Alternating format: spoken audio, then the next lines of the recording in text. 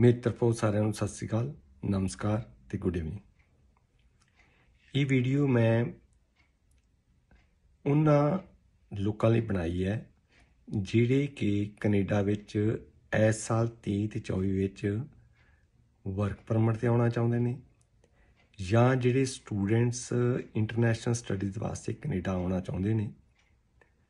ਤੁਸੀਂ ਅਕਸਰ ਦੇਖਿਆ ਹੋਣਾ ਕਿ ਕਾਫੀ ਦਿਨ ਤੋਂ ਰੌਲਾ ਪੈ ਰਿਹਾ ਹੈ ਕਿ ਇੱਥੇ ਆ ਕੇ ਸਟੂਡੈਂਟਸ ਨੂੰ ਜੌਬ ਨਹੀਂ ਮਿਲਦੀ। ਪਰ ਜੇਕਰ ਉਹ ਥੋੜਾ ਜਿਹਾ ਵੀ ਸਮਝਦਾਰੀ ਤੋਂ ਕੰਮ ਲੈਣ ਜਾਂ ਜਿਹੜੇ ਪੈਸੇ ਦੇ ਦੇ ਕੇ ਐਲਐਮਆਈਏ ਖਰੀਦ ਕੇ ਕੈਨੇਡਾ ਆਈ ਜਾ ਰਹੇ ਨੇ, ਮੈਂ ਤੈਨੂੰ ਇਨ੍ਹਾਂ ਚੀਜ਼ਾਂ ਬਾਰੇ ਕੁਝ ਜਾਣਕਾਰੀ ਦੇਵਾਂਗਾ ਉਸ ਤੋਂ ਪਹਿਲਾਂ ਮੈਂ ਤੁਹਾਨੂੰ ਦੱਸਦਾ ਕਿ ਕੈਨੇਡਾ ਦੇ ਕਾਨੂੰਨ 'ਚ ਨੌਕਰੀ ਲੈਣ ਤੇ ਦੇਣ ਵਾਸਤੇ ਮਨੀ ਯੂਜ਼ ਕਰਨੀ ਅਲਾਉਡ ਨਹੀਂ ਹੈ। ਇਸ ਕਰਕੇ ਇਹ ਥੋੜਾ ਜਿਹਾ ਧਿਆਨ ਚ ਕਰਕੇ ਚੱਲੋ। ਮੈਂ ਸਰਵੇ ਮੁਤਾਬਕ ਮਾਰਕੀਟ ਸਰਵੇ ਮੁਤਾਬਕ ਮੈਂ ਤੁਹਾਨੂੰ ਇਨਫੋਰਮੇਸ਼ਨ ਦੇਣ ਜਾ ਰਿਹਾ ਹਾਂ। ਕੈਨੇਡਾ ਦੀ ਸਰਕਾਰ ਨੇ ਇਸ ਸਾਲ 23 24 ਵਿੱਚ ਜਿਹੜੇ ਐਲਐਮਆਈ ਐਲਐਮਆਈਏ ਲੈ ਕੇ ਆ ਰਹੇ ਨੇ ਜਾਂ ਜਿਹਨੂੰ ਵਰਕ ਪਰਮਿਟ ਤੁਸੀਂ ਕਹਿੰਦੇ ਜੇ। ਜੇ ਤੁਸੀਂ science engineering technology and math ਚਾਰ ਚੀਜ਼ਾਂ।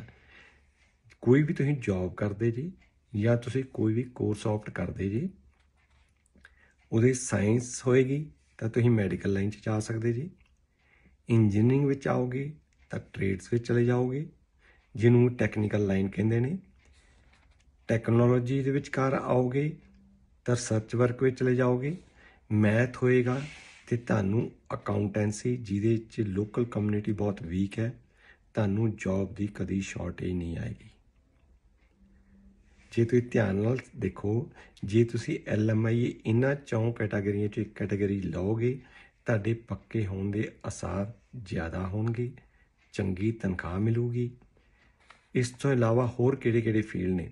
ਦੇਖੋ ਐਗਰੀਕਲਚਰ ਫੀਲਡ, ਖੇਤੀਬਾੜੀ, ਜਿਹੜਾ ਫਾਰਮ ਵਰਕਰ ਜਿਹਦੇ ਚ ਆਉਂਦਾ ਹੈ, ਇਹ ਫਾਰਮ ਵਰਕਰ ਇਕੱਲੇ ਖੇਤਾਂ 'ਚ ਹੀ ਕੰਮ ਨਹੀਂ ਕਰਦਾ, ਜਿਹੜੀ ਡੇਰੀ ਫਾਰਮਿੰਗ, ਪੋਲਟਰੀ ਫਾਰਮਿੰਗ ਤੇ ਮੁਰਗੇ ਵੱਢਣ ਦਾ ਕੰਮ, ਮੀਟ ਬਣਾਉਣ ਦਾ ਕੰਮ, ਉਹ ਸਾਰਾ ਇਹਦੇ ਚ ਇਨਕਲੂਡ ਹੁੰਦਾ ਹੈ। ਫਿਰ ਆ ਗਿਆ ਹੈਲਥ ਕੇਅਰ ਹੈਲਥ ਕੇਅਰ ਜਿਵੇਂ ਨਰਸਸ ਨੇ ਡਾਕਟਰਸ ਨੇ ਸਟੈਰਿਲਾਈਜੇਸ਼ਨ ਟੈਕਨੀਸ਼ੀਅਨ ਨੇ ਮੈਡੀਕਲ ਲੈਬ ਟੈਕਨੀਸ਼ੀਅਨ ਹੈ। ਕੇਅਰ ਗਿਵਰ ਹੈ। ਉਹ ਇਹਦੇ ਚ ਆਉਂਦੇ ਨੇ।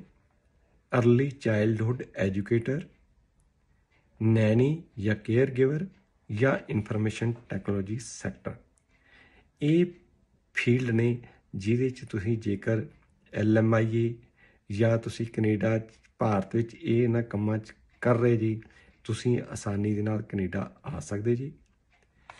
ਦੇਖੋ ਪੰਜ ਕੰਮ ਮੈਂ ਤੁਹਾਨੂੰ ਉਹ ਦੱਸਣ ਜਾ ਰਿਹਾ, ਤੁਸੀਂ ਉਹਦਾ ਐਲਐਮਆਈਏ ਬਿਲਕੁਲ ਨਹੀਂ ਲੈਣਾ, ਨਹੀਂ ਤੇ ਤੁਸੀਂ ਆ ਕੇ ਇੱਥੇ ਧੱਕੇ ਖਾਓਗੇ।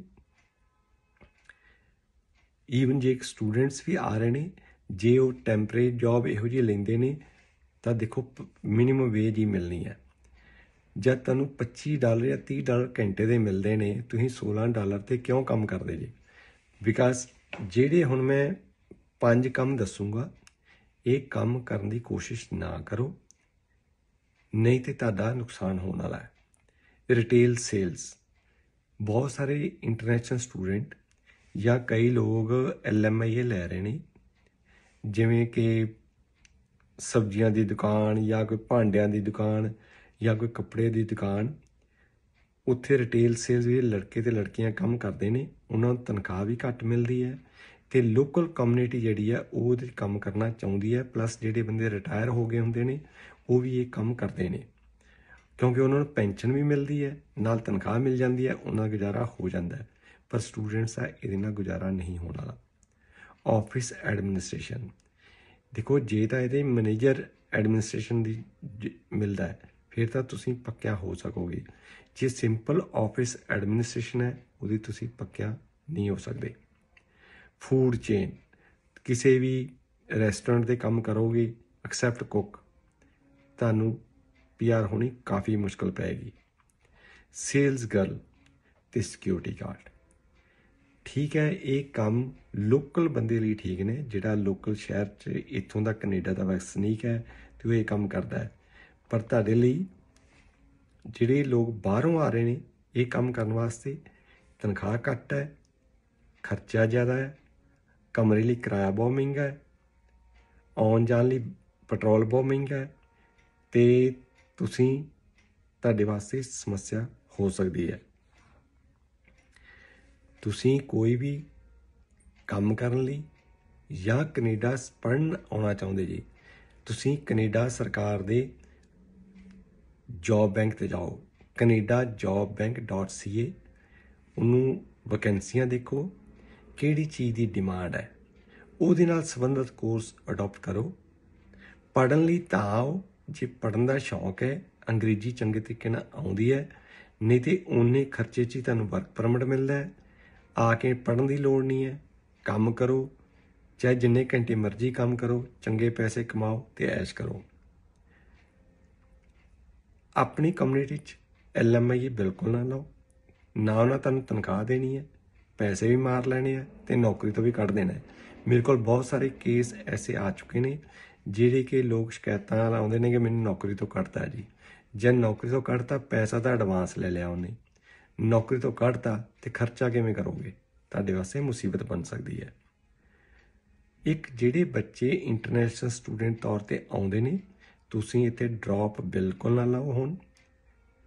ਕੋਈ ਜਾਲੀ ਦਸਤਾਵੇਜ਼ ਨਾ ਲਗਾਓ। ਦੇਖੋ, ਇੱਥੇ ਸਿਸਟਮ ਕੀ ਹੈ ਕਿ ਜਦੋਂ ਤੁਸੀਂ ਜਦੋਂ ਤੁਸੀਂ ਪਹਿਲੀ ਵਾਰ ਕੈਨੇਡਾ ਆਉਂਦੇ ਜੇ, ਤੁਹਾਡਾ ਕੋਈ ਡਾਕੂਮੈਂਟ ਨਹੀਂ ਕੋਖਿਆ ਜਾਂਦਾ। ਜਦੋਂ ਤੁਸੀਂ ਪੀਆਰ ਦੀ ਐਪਲੀਕੇਸ਼ਨ ਲਗਾਉਂਦੇ ਜੀ, ਤੁਹਾਡਾ ਹਰ ਡਾਕੂਮੈਂਟ ਚੈੱਕ ਕੀਤਾ ਜਾਂਦਾ ਹੈ। ਜੇ ਉਹਦੇ ਕੋਈ ਬੋਗਸ ਡਾਕੂਮੈਂਟ ਪਾਇਆ ਗਿਆ, ਜੇਲ੍ਹ ਵੀ ਹੋਊਗੀ 420 ਦਾ ਕੇਸ ਵੀ ਬਣੂਗਾ ਤੇ ਡਿਪੋਰਟੇਸ਼ਨ ਵੀ ਹੋਏਗੀ। ਘਰਦਿਆਂ ਦਾ 40-50 ਲੱਖ ਰੁਪਏ ਜਿਹੜਾ ਉਹ ਖਤਮ ਹੋ ਜਾਊਗਾ। ਸੋ ਪਲੀਜ਼ ਟੇਕ ਕੇਅਰ ਤੁਹਾਨੂੰ ਹੋਰ ਕੋਈ ਜਾਣਕਾਰੀ ਫ੍ਰੀ ਵਿੱਚ ਚਾਹੀਦੀ ਹੋਵੇ। ਸਾਡਾ ਭਾਰਤ ਪਟਿਆਲੇ ਦਫ਼ਤਰ ਹੈ। ਉੱਥੋਂ ਦਾ ਫੋਨ ਨੰਬਰ ਹੈ 9815101148 ਤੁਸੀਂ ਦਿਨ ਦੇ ਟਾਈਮ ਭਾਰਤ ਵਿੱਚ ਫੋਨ ਕਰਕੇ ਫ੍ਰੀ ਵਿੱਚ ਜਾਣਕਾਰੀ ਲੈ ਸਕਦੇ ਜੀ।